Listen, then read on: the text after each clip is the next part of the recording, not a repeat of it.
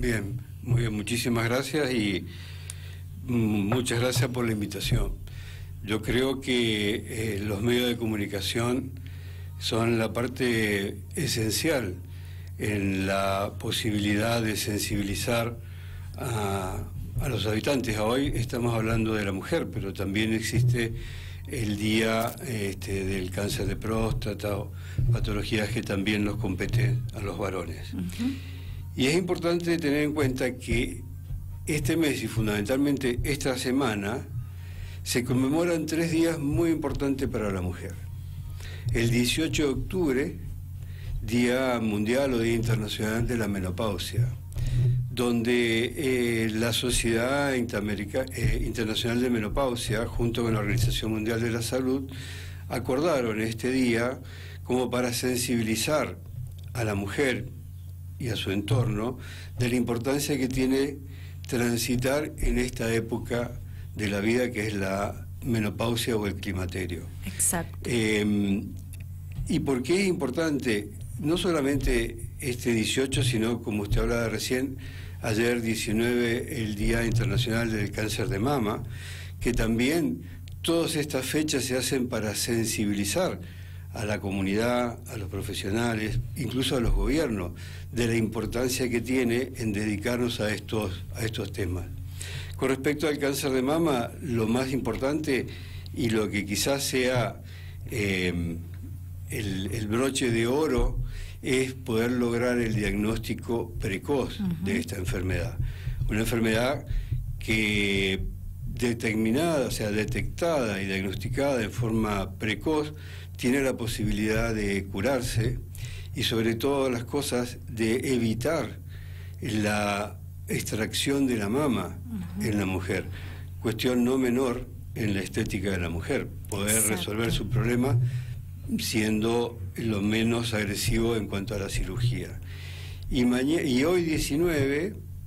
20. Eh, perdón, hoy 20 se conmemora el Día Internacional de la Osteoporosis, enfermedad silenciosa que va este, alterando la calidad de los huesos y que eh, tiene como corolario final la em, fractura, tanto sea de cadera como de columna, eh, y de, mm, que trae aparejado una eh, invalidez muy importante a quien la padecen. Y por eso es importante, como decía recién, este mes y esta semana, por estos tres días, que además van de la mano de, eh, de la longevidad de, de las mujeres. Porque hoy vemos que hay enfermedades como la osteoporosis, que cuando el promedio de vida era los 50 o 60 años, generalmente estas enfermedades no se veían. O las enfermedades que pueden aparecer en la mujer después de la menopausia. Eh, cuando el promedio de vida era de 50 o 60 años, obviamente no aparecían. Pero hoy, por esto de la longevidad, del haber prolongado los años de vida, muchas de estas enfermedades empiezan a ser de vital importancia en la prevención para la salud futura de la mujer. Bien, eh, ¿cada cuánto se recomiendan los controles para las tres enfermedades que usted ha mencionado? Con respecto al tema de la menopausia, evidentemente que los controles de la mujer lo deben hacer todos los años. No necesariamente porque estamos hablando de la menopausia, sino para evitar otras enfermedades que son muy importantes en la mujer, como el cáncer de cuello uterino, el cáncer de mama, cáncer de endometrio, la osteoporosis. Entonces siempre es recomendable los controles anuales, pero es muy importante recalcar la importancia que tienen los 40 años en la mujer, porque es como una bisagra donde a partir de esta época empiezan a presentarse una serie de cambios eh, en el organismo de la mujer que la va llevando, se va transitando hacia lo que es la menopausia. Y no hay nada mejor que la prevención en cuanto a la alimentación, a la actividad física, el mantener el peso adecuado, este, que hacen de que nuestro organismo em, transite dentro de los parámetros de normalidad en cuanto a salud. Bien, la menopausia no se puede evitar, llega. La menopausia llega. es un evento fisiológico en la vida de la mujer. La menopausia en realidad se considera el, el día de la última menstruación. Exacto. Y a la mujer se la considera que ha ingresado a la menopausia cuando ha transcurrido un año sin menstruar desde, esa, desde ese último periodo. Bien. A partir de ahí la mujer ingresa a su menopausia. Pero esto es, eh, no se puede cambiar. Eh, entre los 40 y 55 años, de acuerdo a, cada mujer, pero en promedio entre los 45 y 50 años, la mujer ya ingresa a su menopausia y empieza a transitar lo que se llama su climaterio. Bien, ¿y qué se recomienda en ese ingreso de la menopausia y lo que dure la misma, de ahí en adelante? Bien, lo que se recomienda básicamente la prevención en cuanto a prepararse a que este es un evento más en la vida de la mujer. Exacto. Hay que derribar todos los mitos que se tienen con respecto a la menopausia, como que es el final de la vida de la mujer, que es, ya llega la vejez. En realidad no es así.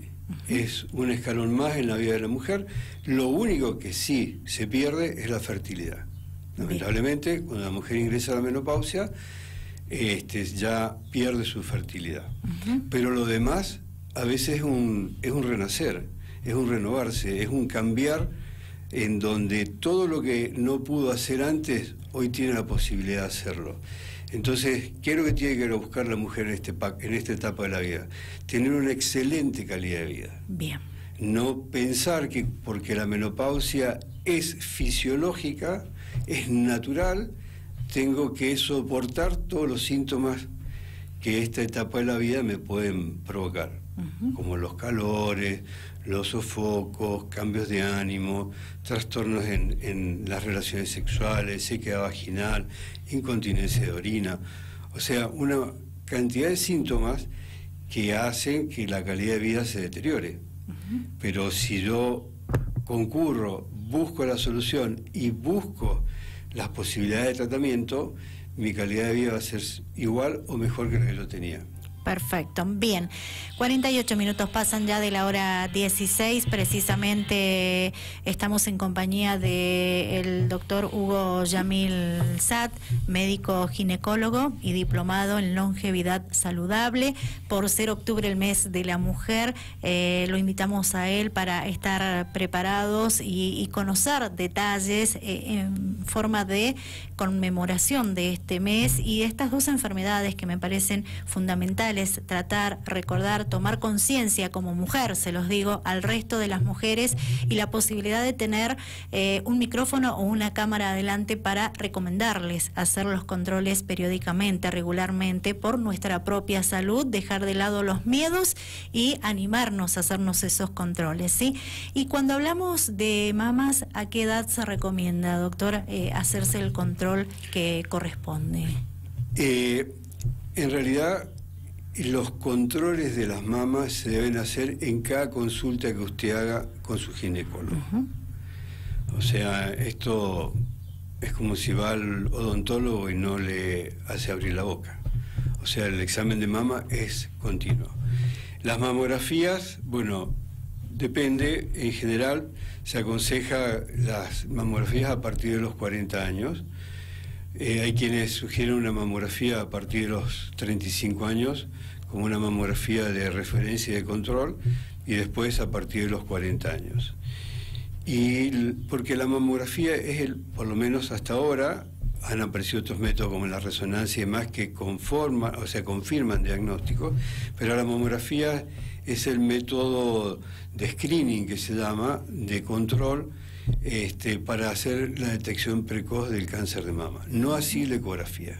La ecografía es un complemento de la mamografía. Pero el, estudio eh, más importante es la mamografía que se recomienda una vez al año.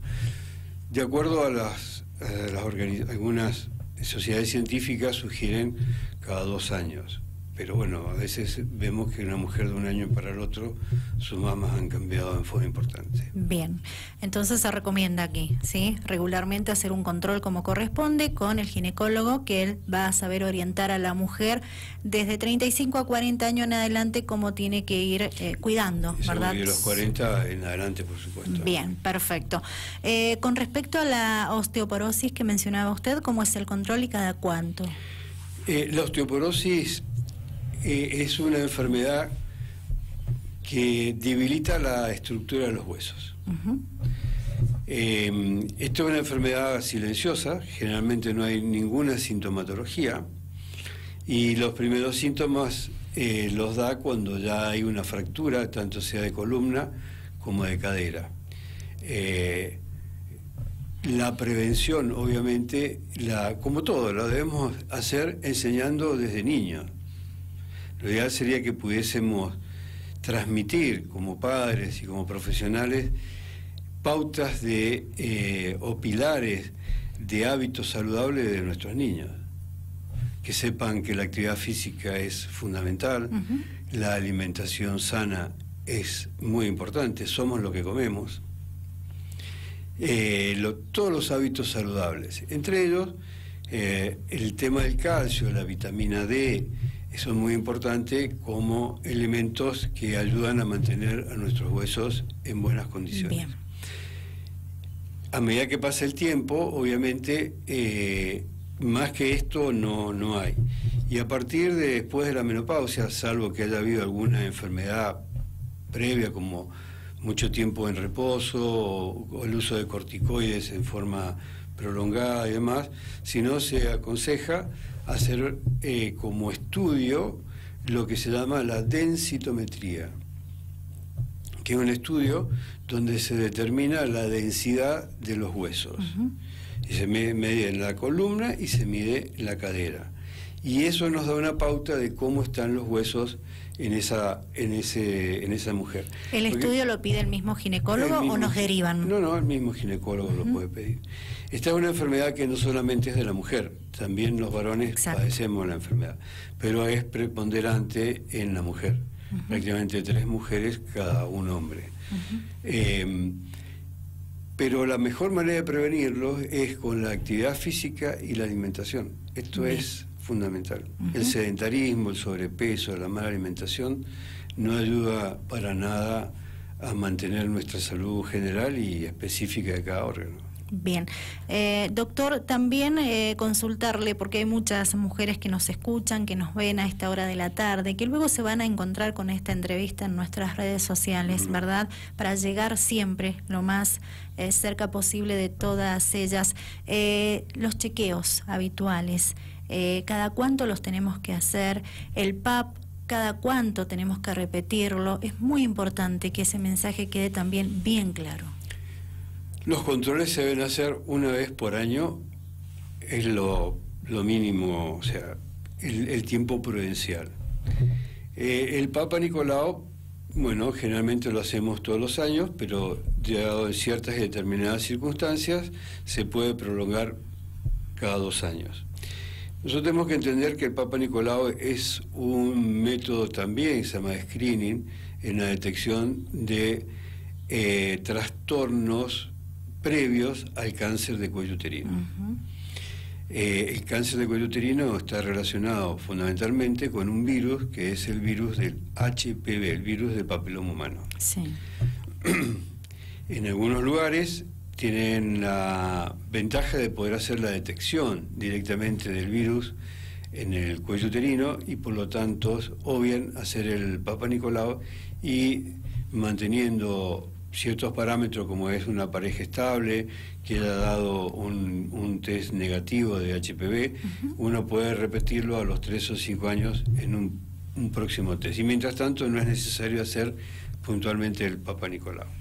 Pero no teniendo al alcance esto, eh, es todos los años cuando la mujer concurre a su ginecólogo, se debe evaluar la posibilidad de hacer el Papa Nicolau. Excelente. Y por supuesto en ese control los análisis correspondientes, eh, las ecografías que sean necesarias, la mamografía si está en la edad de, de hacerse una mamografía.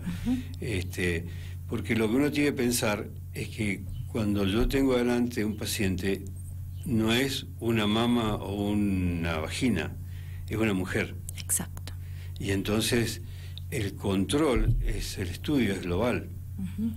Los análisis sobre, o sea, la analítica es una analítica general, no puntualmente de hormonas o, cultivos de flujo. Este, por eso también el ginecólogo está capacitado para solicitar los estudios que considera necesario para guiar a esa mujer en, su control en su calidad de vida. El ginecólogo es el médico de cabecera de la mujer. Sí, sí. Ginecólogo, ginecóloga, médicos de cabeceras de la mujer. Exactamente. ¿A qué edad se debe visitar al ginecólogo o ginecóloga por primera vez para jovencitas y adolescentes? En realidad eh, se aconseja la primera consulta cuando la mujer inicia sus relaciones sexuales. Bien. Pero eh, también hay eh, niñas que tienen 12, 13 años o 14 años que tienen trastornos, em, algunos trastornos menstruales o 15, 16, que bueno, es un, un momento para que las madres lleven a sus hijas a la consulta para poder estudiarlas y, resolver las cosas que, realmente pueden ser patológicas, porque a esta altura hay muchas alteraciones que son verdaderamente fisiológicas y el tiempo las va resolviendo. Bien, doctor, le agradezco muchísimo por su tiempo. Ha sido un placer conversar con usted, eh, con un profesional como usted. Sé que la audiencia piensa exactamente igual a lo que estoy mencionando. Eh, será hasta cualquier momento. Eh, suma mucho todo lo que usted nos brinda de información para acercar a todas las mujeres. Eh, yo le agradezco y insisto, creo que los medios de difusión son los es el instrumento más importante para llegar a la comunidad eh, para hacer prevención. Hoy la prevención es fundamental. Muy de acuerdo con usted. Buenas tardes. Gracias. Buenas tardes, por favor. Bueno, nos acompañó en esta parte del programa Otra Mirada el doctor médico ginecólogo y diplomado en longevidad saludable, Hugo Yamil Sa.